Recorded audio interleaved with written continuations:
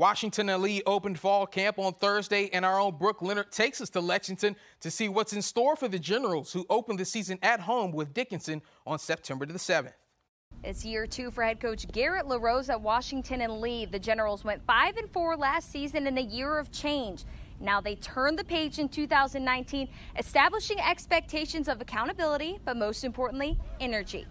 Um, I think we're just really excited to be down to the details now. But this group that we have coming up now is excited and motivated by what we learned last year. And I think that consistency that we've established through our offseason has allowed us to kind of be more consistent what we're going to bring to the table this year. One thing that remains the same is the Generals' run offense, capitalized by big men up front.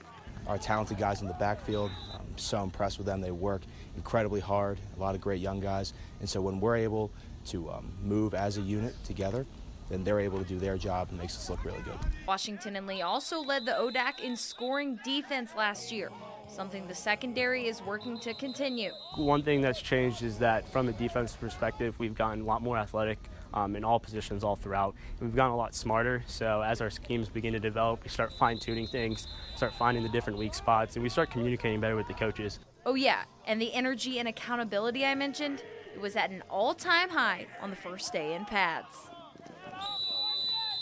we got to hold the, all, all of our all of each other accountable and make sure that you know we're running around and being more physical because that's something that the coaches saw towards the end of last year. We started um, fading away was our energy towards the end of games, and we want to make sure that we keep that up all throughout the season this year.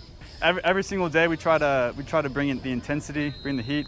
We love the energy. Um, we, we just focus on uh, making sure that we can still get what we need to get uh, in in practice. In Lexington, I'm Brooke Leonard, 10 Sports.